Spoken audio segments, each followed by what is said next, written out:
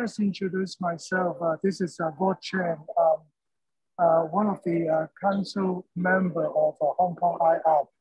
Well, I'm about to uh, introduce to you this very interesting webinar on blockchain, NFTs, and the metaverse implications for disputes and the dispute resolution process.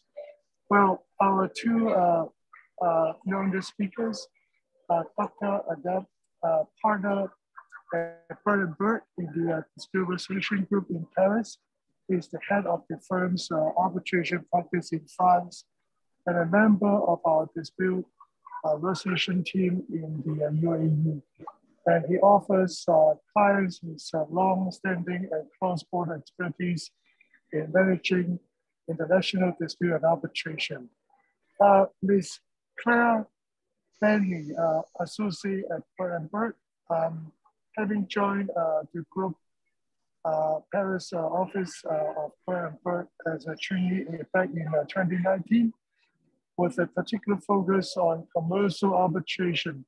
Claire has worked on disputes across a range of sectors, including construction, infrastructure, energy, insurance, real estate, and public procurement. Her practice also extends to uh, investment treaty arbitration. Well, without further ado, uh, let me put our hands together to welcome our two speakers. And I wish uh, perhaps uh, in the last uh, 15 minutes, we can have a Q&A session. Uh, in case um, of course, we welcome questions. Please put your questions in the chat box. Okay, let me uh, hand over the phone to our two speakers, please.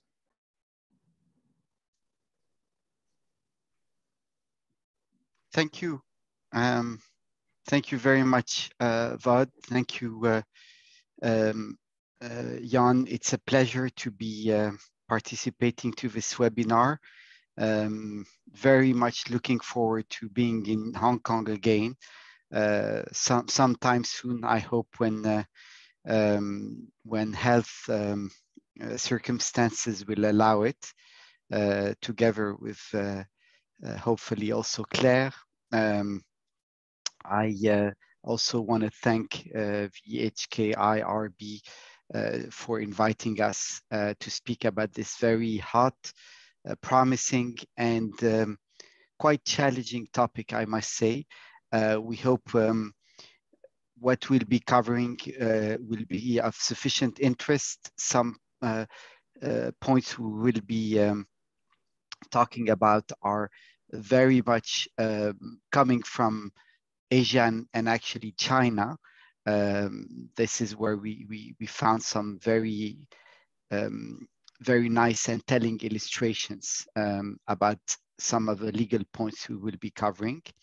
Uh, what we suggest we do is uh, that we divide somehow in, in two, a little bit uh, uh less, um, our presentation with Claire presenting the technical side of the different creatures, uh, let's call them like this way, blockchains, NFTs, and the metaverse, how they function legally speaking, after which I will be uh, trying to explain to you how uh, those um, legal creatures, um, if one can use this, this term, uh, interact with arbitration and what sort of disputes uh, they can have and will generate. Um, Claire, the, the, the floor is yours. Um, hello, everyone, and um, thank you to the HKIArb uh, for having us today and um, to Mr. Chan for the introduction and um, very pleased to participate in this webinar today. Um, if we could go to the next slide, please. In recent months, uh, tech giants, international brands, and artists have invested millions of dollars in the metaverse and blockchain, tech, blockchain technology, and it's only the beginning. However, and as many of us are wondering, and perhaps this is why you joined the webinar today, how can legal concepts created for the physical world protect investors in this new virtual environment? Certainly these new technologies will give rise to complex and novel legal issues. And it's our view that international arbitration will play a key role in the resolution of these new disputes. Next slide, please. Um, as Jalal mentioned, um, I will cover the basics of uh, these technologies, blockchain, NFTs, and finally um, the metaverse. First, we will cover the blockchain. Blockchain is a shared immutable ledger that facilitates the process of recording transactions and tracking assets in a business network. An asset can be tangible or intangible, and virtually anything of value can be tracked and traded on a blockchain network. This way, risk is reduced and costs are cut for all the parties involved. Next slide, please. Uh, there are three, uh, there are a few key elements of the blockchain to keep in mind. Uh, first, as I just mentioned, it's an immutable ledger. So, it, and it's also distributed. Um, um, this relies on distributed ledger technology, whereby all network participants have access to this ledger and its immutable record of transactions. Using this ledger, transactions are recorded only once eliminating the duplication of effort that's typical of traditional business networks. Another key feature of the blockchain is that it's immutable, so it allows for the creation of immutable records. This way, no participant can change or tamper with a transaction after it's been recorded to the ledger. And finally, you may have heard about smart contracts. Smart contracts are basically programs that are built into the into blockchain technology. They contain a set of rules um, referred to as a smart contract, where um, basically the smart contract defines conditions. Um, if they're met, then something will happen. For example, when John pays Mike 300 Ether, then John will receive ownership of the house. This has the benefit, um, as I think I touch upon later, that um, it's more efficient. So it, it contributes to market efficiency by cutting out um, intermediaries. Next slide, please. So how, how does the blockchain work? As each transaction occurs, it is recorded as a block of data. Those transactions show the movement of an asset that can be tangible or intangible. Each block is connected to the ones before and after it, therefore forming a chain. Um, these blocks form a chain as yes, it moves from place to place or ownership changes hands.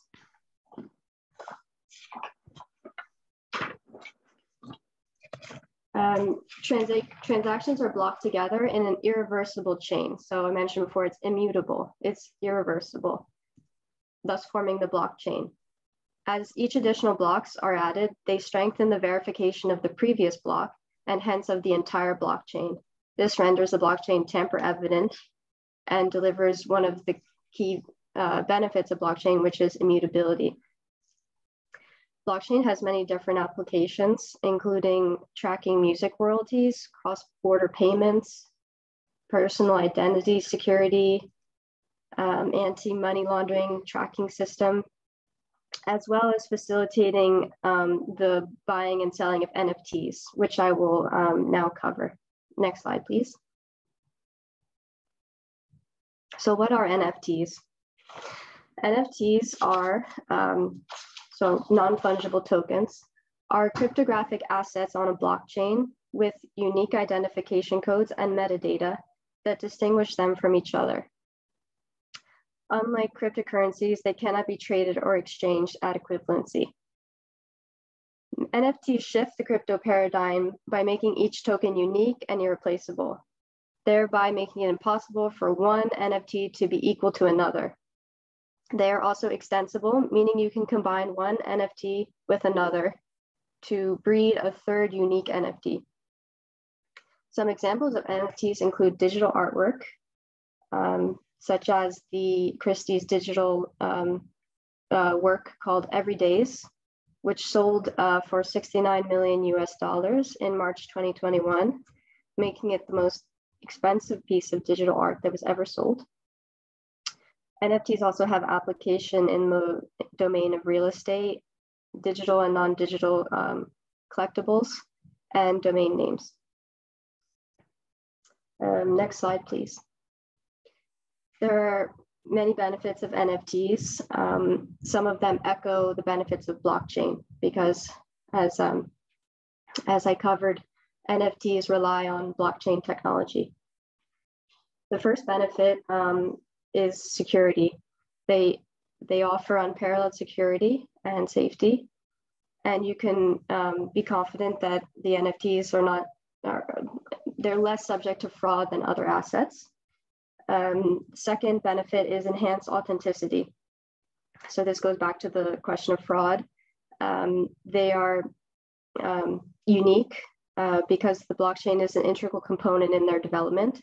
And in addition to being unique, they are indisputably authentic by virtue of the fact that they are stored on the blockchain, which cannot be tampered with or, or changed after the um, blocks are successively added.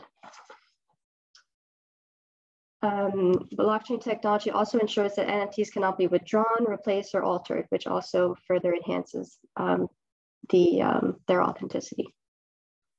Third is that NFTs offer ways to um, verify the ownership of each NFT, which also contributes to their uh, value, of course.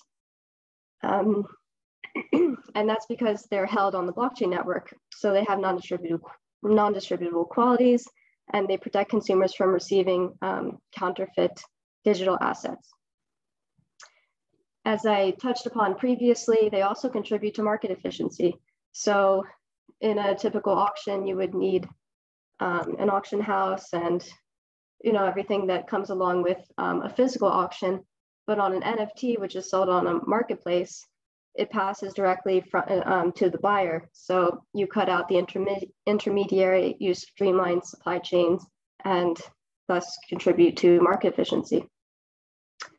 And lastly, um, NFTs provide the possibility of dividing an asset, um, dividing the ownership of an asset into fractions.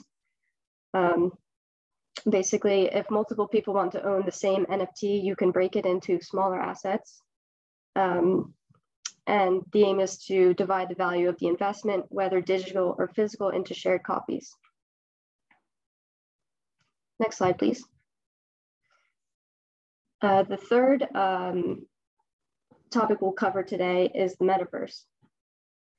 The metaverse, um, I'm sure you've heard a lot about the metaverse. It's frequently covered um, in the media with, with Facebook, uh, re Facebook's rebranding and um, and their um, ambitious plans for what the metaverse will become. But as far as how to define the metaverse, it is essentially a stimulated digital environment that uses AR, which is augmented reality, uh, VR, virtual reality, and blockchain, along with some social media concepts to create spaces for rich user interaction. And the idea is to mimic the real world and um, Basically, it provides a, a place where individuals, through their avatars, can interact socially and professionally. They can invest in currency, they can take classes, work together, and travel all within the metaverse. Um, the idea is to create online spaces where these interactions are more, more multidimensional than current technology supports. And it will not simply allow users to view digital content, but also just immerse themselves in the space. Um, and I, if the metaverse becomes what um, what is promised, the idea is to kind of fuse together the digital and physical world. And for example, um, one, one another aspect is that if you are to uh, buy an asset in the metaverse, this asset will kind of be attached to your avatar so that if you go from one metaverse to the next, um, the asset follows you. Of course, all of these transactions give rise to the possibility of new disputes. And that is what um, Jalal will be covering in the next section.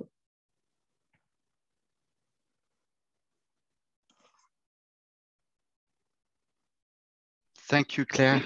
Thank you very much. Um, I, I hope, and uh, if this is not the case, that we've been able to lay the grounds, the technical grounds of what is sometimes perceived as a very technical, austere, uh, not easily understandable uh, word uh, with new um, tech arising.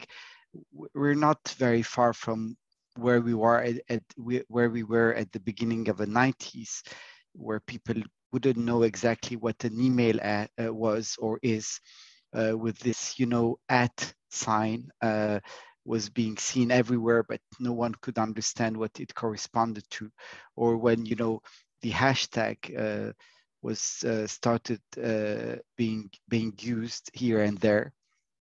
And, and this is a little bit the era we're getting into where things are being more and more talked about, but without everyone knowing exactly what we're talking about, that that's exactly the, the, the point of, um, of our first um, part, which um, Claire, uh, uh, I hope, um, very clearly covered. If that's not the case, of course, um, we have um, a, a Q&A session, and please don't hesitate to um, to let us know if uh, uh, technically or legally speaking you still have uh, questions. Now, let's talk about this new universe of uh, disputes coming from that uh, word which was just uh, described to you.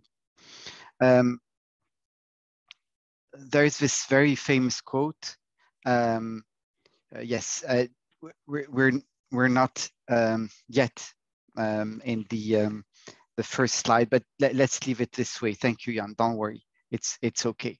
Um,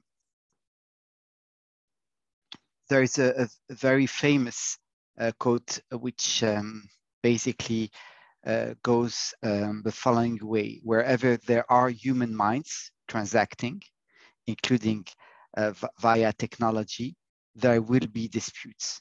And of course, uh, this new tech word uh, is no exception to, to this principle. Blockchain disputes are appearing in different forms. We, we are going to try to cover some of them. Um, how can more specifically crypto assets uh, intersect with international arbitration? Um, this is something which we will be covering more narrowly. So we, will try to give you some illustrations about types of disputes and, and then going to the specific question of how those disputes can be handled through arbitration. Abdullah Abu Wasel uh, said cryptocurrency businesses have been known to include arbitration. Yes, can, can we please move to the next slide? Um, have been known to include arbitration agreements in their contracts, which is unsurprising considering the harmo harmonious nature of both cryptocurrency and international arbitration. Uh, indeed, cryptocurrency, and that applies to blockchain, uh, identifies itself as a decentralized character. And arbitration similarly enjoys the freedom of party autonomy that can be found that cannot be found before national court. So you see they, those two words, arbitration and um, blockchain in general, um, have a lot of in common. Party autonomy, a mechanism detached from a territorial, national, or jurisdictional grasp, confidentiality, efficiency. All those things are in common. Um, yet, uh, although we will see typical disputes um, that are not enough, uh, anything new, um, there are very, um, very new uh, types of, of, disputes arising. Um, so typically you will, you will find IP uh, disputes, um, which we, we can um, discuss at length, but which we won't uh, um, more specifically in this webinar, investments, uh, disputes, supply of services disputes, and uh, fraud disputes. Here too, you will see that there is nothing that specific. And by fraud, I do mean um, I do mean uh, issues of misrepresentation, issues of uh, uh, identity, identity theft uh, and, and the like. But things are a bit more complicated because um, uh, with crypto assets uh, being a bit different in their nature, as this explained by Claire, um, they may involve new types uh, of legal um, uh, questioning. Uh, simply because those two planets, wh while they are aligned or living one close to the other, they, they do not merge. And one example which we, we can give is that whereas efficiency is really the heart of uh, crypto uh, currencies and blockchain more specifically, um, uh, arbitration is very much concerned as much as uh, by efficiency than it is by due process. And due process would tend to slower things. So you see, um, things cannot be completely uh, compatible or merging.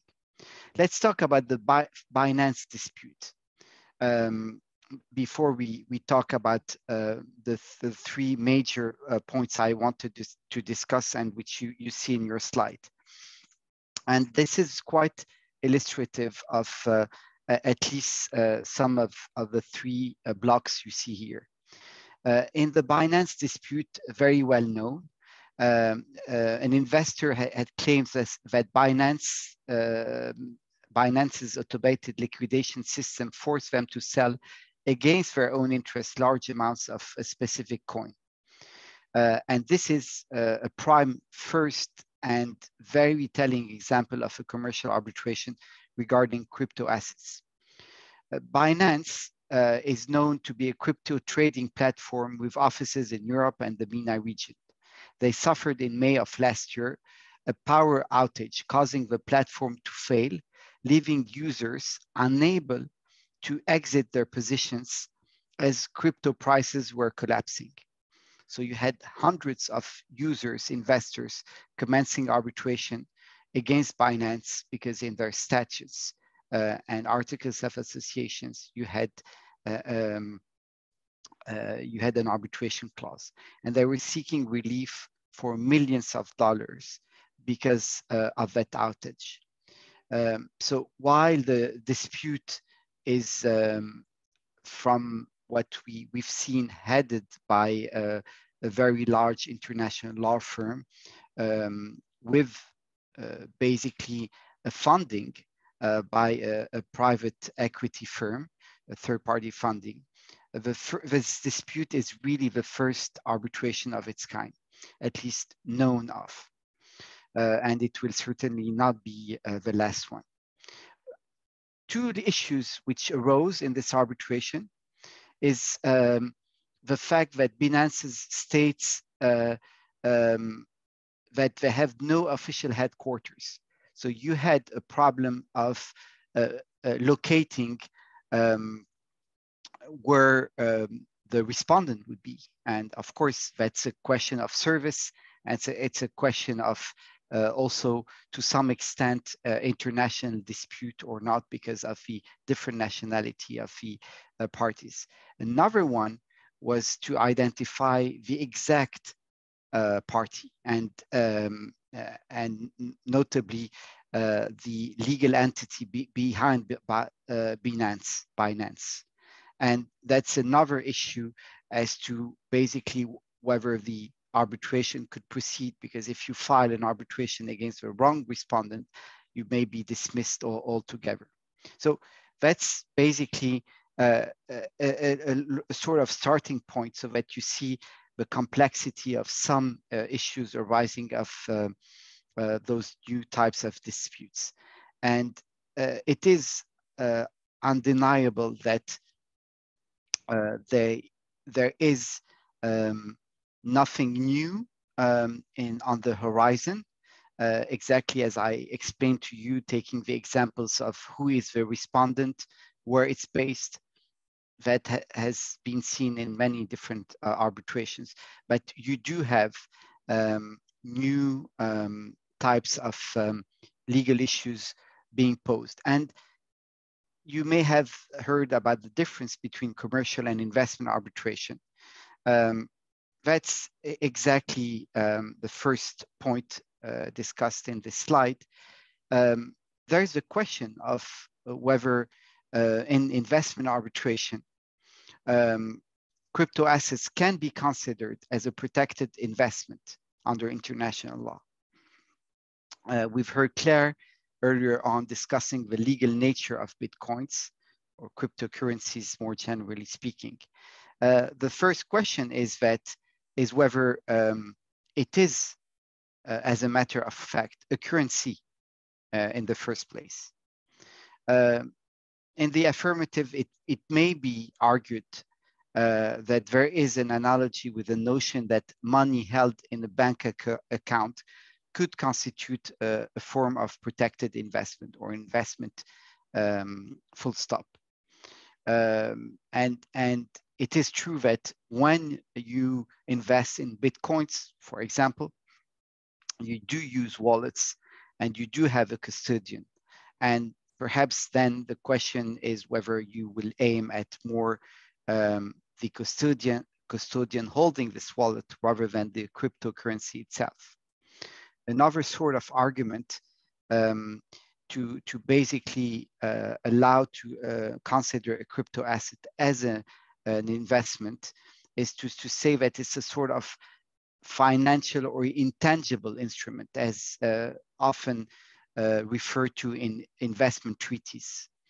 Um, but here again, um, uh, most, uh, if not all of the uh, BITs, even the newest one, would not contemplate that specific um, hypo. So you would need to have um, some precedents, um, which um, uh, is is uh, not yet to be seen because you do have some illustrations uh, about that, but to be um, established in a permanent manner. In both cases, uh, when it comes to the crypto asset itself, there is still the territoriality issue uh, and, and requirement. And the fact that certain rights or obligations linked to the assets would have to arise from the in the territory of the host state. And here too, as you uh, we have mentioned, um, cryptocurrencies are detached often, uh, and the um, Binance uh, dispute arbitration is an, an example, are detached from a specific national jurisdiction. Now, a sort, a second sort of dispute uh, or block of disputes uh, that would show you um, uh, the, the new, the, the, how new um, this new generation of, um, of legal issues may, um, uh, may generate is the valuation issue. Now, uh, valuating cryptocurrency uh, businesses is a challenge due to the lack of comparable publicly listed companies. Uh, you, you probably know that uh, from the very first uh, day when um, we heard the first time about um, a, a, cryptocurrency that was, I think, in 2008 by a certain Satoshi Nakamoto, and we don't know whether that person was actually, um, uh, or rather that name was not actually used by another person. Um, in 2008, so more than 14 years ago, um, it, it, was said back then uh, that um, that person was working on a new system of e-currency entirely peer-to-peer with no third party of trust able to evaluate it. And um, the first evaluation um, of a Bitcoin was um, from October 2009 at $0.001, which was the exact production cost in electricity uh, for uh, a computer to uh, electronically create a unity uh, of uh, that um, so-called currency. In 2013, so four year la years later, um, the Bitcoin value was of 1,000. In 2017, it was of 20,000. Uh, you had, of course, um, the huge rise following the COVID, uh, uh, the COVID pandemics in uh, starting in March 20, um, with um, with uh, a collapse in 2021, but in um, at some point in in 20, um, I'm sure you've heard that uh, the value of the Bitcoin reached uh, almost 60,000 to collapse last year uh, to 29,000.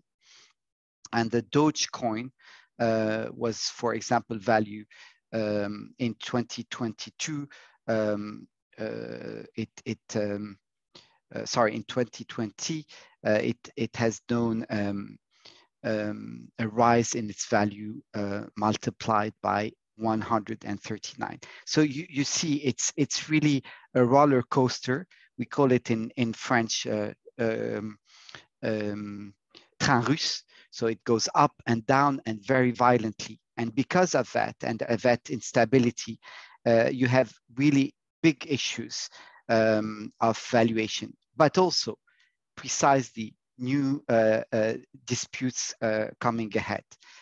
just in two, um, 2021, you had two trillion of dollars of value disappearing. Um, right? That's a, a, real issue in terms of assessing uh, damages, creating disputes, but then trying to assess the exact harm and thus the, the damage. The third issue is an issue of enforcement of uh, arbitral awards. Uh, as you probably know, um, the rising popularity of cryptocurrencies, um, you uh, with that uh, rising popularity, um, you had um, basically um, more and more um, a more uh, uh, an increasing likelihood that awards um, be ordering to pay a sum uh, of crypto uh, instead of US dollars. Is that something uh, feasible? Is that something that uh, is legally possible? Well, the starting point is that you have, except for two uh, countries, Salvador and Central African Republic, no countries recognizing uh, cryptocurrencies. Actually, some countries have banned, uh, like I think India or Russia, uh, cryptocurrencies altogether. Now, where cryptocurrencies are neither um, prohibited nor permitted, the question of um, whether awards can be recognized uh, can, can be actually um, posed case law, and this is something that uh, China has been very uh, helpful in, illust in illustrating, um, does not favor the treatment of cryptocurrencies as actual money in decisions. You had a very famous uh, case in which my firm was involved, the Tulip uh, Trading Limited versus Bitcoin Association, where um, um, um, the, the claimant, um, the Seychelles company, alleged that it had suffered a, a hack. It claimed 4.5 billion from 16 developers, alleging that they owed fiduciary and common law duties under English law, and they should be required to write and apply a patch to the blockchain network with, with the effect of transferring it, transferring it to a new Bitcoin address that the claimant claimed had been lost due to an alleged hack. So somehow the platform should be liable because of that hack.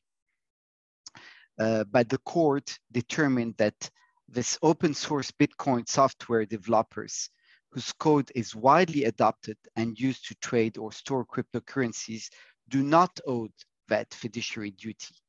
Um, and, and that's simply because um, it is not a very specific um, um, um uh, asset uh, using a specific uh, code or um, um, or private code, but, but rather a publicly available one. in in in other words, the, the claim was dismissed, and um, uh, in a in a fraud hack case, uh, this was not very much in favor of um, recognizing uh, a decision um, uh, where it was asked that um, um, a security for costs be um, uh, be deposited before the court. Uh, and and and it's referring to my previous point, um, the the the the fact that the Bitcoin was subject to a high level of volatility uh, actually led also to, to that, uh, that decision rejecting the security for costs in support of a claimant's claim. Now uh, you have another ruling from the Shenzhen Intermediate People's Court in China that also set aside an award that ordered to pay um, the US equivalent to the disputed amount of Bitcoins. Um, by the same token, uh, we have identified other uh, decisions in the Netherlands, in Greece, that for public reasons refused to enforce uh, or recognize the wars based on public uh, policy considerations. And it is true that although uh, you don't have a specific ground, but one could um, easily think that um, considerations relating, relating to the protection of sovereign uh, money and the stability of the financial system could be relied upon as um, reasons uh, for public uh, policy considerations not to recognize an award uh, rendered in uh, cryptocurrencies. Now, I will accelerate just to let you know, um, moving to the next uh, slide, please um, Jan, if, if possible.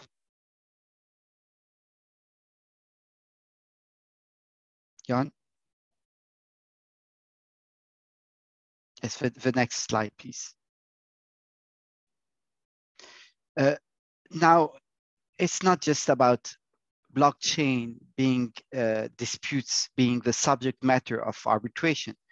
It can be also about blockchain being used to help um, in the arbitration process. So it's more arbitration being the subject of uh, blockchain rather than uh, the reverse as we, we've just seen. Now, there are three reasons to consider that blockchain can be beneficial for international arbitration. First, cyber se security. Blockchain uh, could potentially improve cybersecurity as it, it can impede fraudulent activities and detect data ta tampering based on its underlying characteristics of immutability, data encryptions, and operation resilience. Uh, sorry, re resilience. And basically the, the fact that uh, this is a, a mechanism that is always generating itself. Of course, with cybersecurity, second consideration is confidentiality. Private permissioned blockchains could be compared to, uh, I quote, organizations' intranet pages where information is only shared and exchanged internally with those who have been permitted to access to access the site. So you do have a way basically to, to lock uh, in everyone participating in an arbitration and make sure that the information is not shared outside this uh, limited scope of people efficiency. IBM uh, uh, signifies the smart contracts built um, on the blockchain um, uh, might have that those smart contracts that uh, Claire has referred to and explained have the ability to reduce the time consumed in dispute resolution by 75%. And as you probably know, a way to resolve some contract disputes is what we call contract management. And contract management is also led to what we call dispute boards, especially in construction disputes. And there are the first phase before going to, to arbitration. So it can help uh, by using smart contracts to basically resolve disputes even before going to a dispute per se. Um, so one thing that is, is important to bear in mind before I move quickly to questions of re related to NFTs is that uh, you have um, a, a, sort of um, um, uh, a new era opening here. Uh, the UK Ministry of Justice began to discuss the possibility of blockchain technologies application in judicial practices. And in 2018, Chinese courts have already set up a blockchain system 2017. And you have in 2018 and 2019, courts in China confirming uh, that for the first time that electronic data stored on a blockchain could be treated as electronic evidence and even data not just stored but generated by a blockchain could be um, recognized as uh, um, as having the characteristics of authentic authenticity and integrity. Moving to NFTs, and I will close um, with with that. Um, perhaps if we can move to the next uh, slide, Jan. Thank you. Um, we, we have organized uh, a few months ago a, a, webinar, a hybrid actually webinar, and at the same time it was um, uh, in, in our venue in Paris on NFTs, blockchain also, and we had invited people from WIPO in Switzerland and the Court of Arbitration for Arts uh, so that they could share their experience as to whether NFTs, especially in the world of uh, arts, could be um, uh, creatures leading to new types of disputes. And there are indeed three uh, or at least two main uh, types of, of uh, disputes um, art related. You have potential claims by holders of rights uh, in underlying works. And this is something we can, of course, expand on. And you have potential claims for uh, buyers of NFTs uh, who um, could basically um, who could who would consider that they weren't informed sufficiently well about what they were buying and the scope of the rights they were enjoying when uh, buying an NFT. Um, uh, those have uh, disputes have not been illustrated by um, arbitrations. Rather, uh, you have, as Claire mentioned, you have had some very well-known disputes um, in um, uh, going to public courts. But there are also um, interesting issues relating to um, the jurisdictional scope of regulatory um, uh, regulatory frames. As you probably know, whether we consider data protection or financial regulation, there is the question of its territorial application. And again, with NFTs, as uh, oftentimes they are not easily attached to a specific jurisdiction, there is the question of um, uh, whether you are to apply those regulations or not. Um, next slide, please.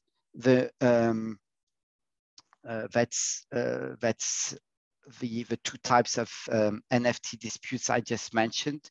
Um, putting aside uh, the the question of um, of regulation, which I mentioned. So you do have the two types of disputes. And next slide, uh, Jan, please. Um, you have the new metaverse uh, disputes arising and um, very concretely being seen in the metaverse. So first you have claims by users against metaverse platforms. Uh, oftentimes they will uh, re relate to real estate disputes. Uh, you know, you buy a, a, plot, a virtual plot, um, and then you discover that its its value has decreased because, um, uh, for example, uh, a, a further plot was created uh, nearby, whereas the, the platform use, uh, said at the beginning that you would enjoy basically some sort of exclusivity, exactly like you would see in the real world. Um, you would have also issues of disruption of businesses, um, and this is not something um, that is very typical to the metaverse uh, universe. We've seen and, and talked about that concerning um, NFTs or uh, cryptocurrencies. But what may be interesting uh, and maybe specific to the metaverse, metaverse as far as claims by users against metaverse platforms are uh, issues relating to the inability to withdraw funds. Users may want to realize profits made on the metaverse platform in real world um, currencies. But decentralized blockchain platforms allow users to sell their inward currency on cryptocurrency exchanges, most centralized in uh, uh, uh, uh by most centralized uh, metaverse platforms. And those uh, platforms would not provide functionality to allow users to cash out of their in-platform currency. So you make profits in the virtual world, you want to transform this into real cash money and you are unable to. And that's typically a, a sort of claim that you have seen uh, and you will see increasingly in the future. Uh, you have many other types of claims uh, by users against other users, exactly like the NFT um, type of disputes which, which we mentioned. And I will conclude with three um, or rather two um, uh, issues um, or implications for international arbitration in the metaverse. One ha has to do with arbitrator uh, trust and anonymity. There's a question of the anonymity of the parties in the metaverse because you use basically an avatar, you don't know who is behind that avatar. But it poses a more fundamental uh, issue when you don't know who is uh, the arbitrator behind um, the decision rendered. And basically, um, it is true that some have precisely gone down this road and said, um, actually, we should have an anonymous, an anonymous uh, crowdsourced online arbitration where people are selected on an anonymous basis without knowing who is um, their identity, uh, but only relying on their expertise. Um, and this is also what we've seen in blockchain arbitration, um, uh, pioneered by applications such as Kleros, uh, where a network of uh, unanimous human jurors on the blockchain randomly selected based on the amount they have they, they stake to be selected, where the higher amount, the greater the chance of random selection. And this system uh, in the system, anyone can be a juror. And you have had some awards, arbitral awards rendered on that basis, which were not recognized precisely because of this random characteristic, which was in breach of what we called due process. And as a result, um, it was considered that it was breaching a procedural public policy. So you see, you have some um, questions, um, uh, whereas at the same time, arbitration is based on trust, blockchain is based on trust, but at the same time, the two things are not necessarily compatible. And I will leave the floor to, um, to Claire to just to, to finish by giving us some examples of orders um, that can be uh, found in the, the context of, of arbitration as illustrations.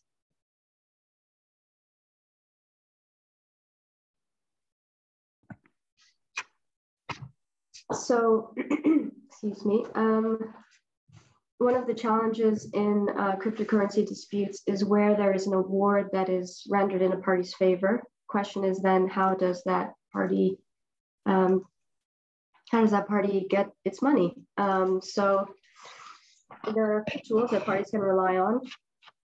Uh, the Mareva injunction, uh, Norwich orders, or um, Anton Piller orders. And just to give an example, a Mareva injunction basically has the effect of freezing um, the defendant's assets worldwide and prevents the defendant from utilizing those assets except for regulatory purposes, such as to pay the salaries of its employees. And also as part of this injunction, there is a, a, an asset disclosure order. So if the defendant's assets exceed a certain amount, then they would be required to disclose that amount. This is just an example of, of how um, uh, how to actually um, uh, get to receive the money that is uh, that is awarded. Um, another way is, for example, Jill touched upon the challenges of jurisdiction. For example, if the seat of the arbitration has laws which are not favorable to cryptocurrency, um, which even might even ban outright the trading of cryptocurrency. One way around this is to um, to stipulate in the award that the um, award can be satisfied with a currency of equal value, um, US dollars, for example, to the um, amount of cryptocurrency that is awarded. So that's one another way around um, these kind of challenges. Thanks, Claire. I, I, um, I think we can expand a lot on on um, on all those uh, new types of disputes. Although I, I, we did mention the fact that they were not that new at, at the same time. Um, the the reality is that uh, um, we are starting to to to see um, interesting legal issues again not fundamentally new but which will pose um, very um, genuine uh, new uh, legal issues. Um, I, think we, we, we touched upon the question of the anonymity of the arbitrators or of the parties. And I think there's a question um, in the Q&A box, um, one, um, one of which is the following, are there any law firms and or arbitrators who accept their fees in cryptocurrency? Well, uh, to be honest, um, I can tell you that um, as far as I'm concerned, I have never seen that. Uh, this was never proposed to me.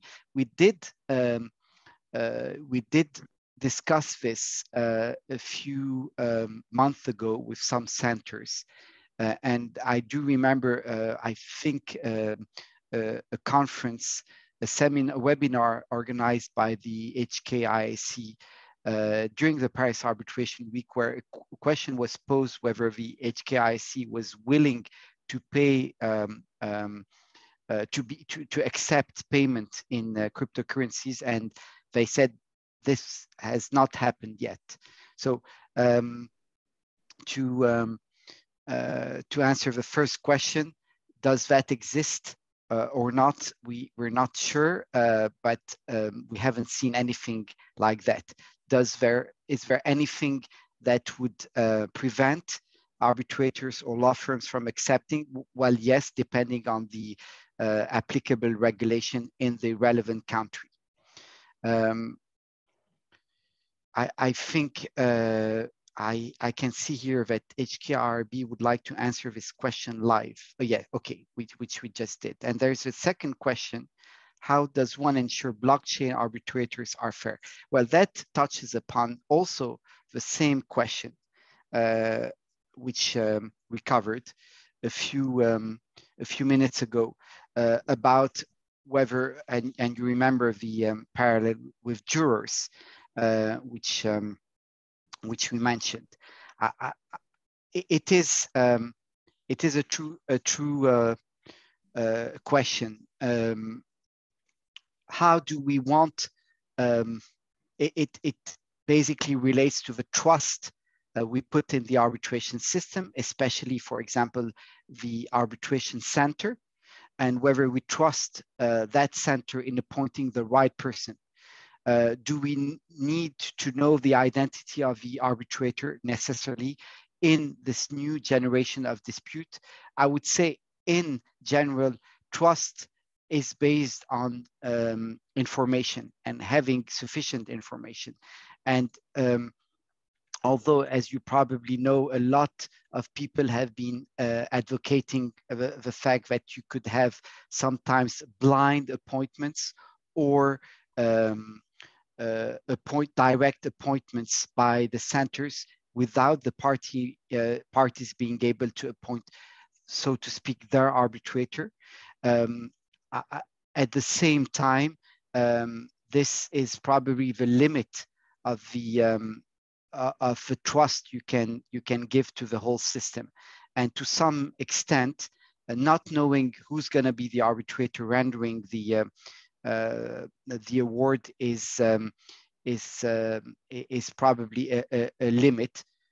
Um, whether this could be accepted, would whether this could be legally possible, uh, is a is another issue because the New York Convention does require that you have a, a physical person rendering the uh, the award. So this is uh, uh this could be an impediment. But can the parties waive this right in um, in the rules?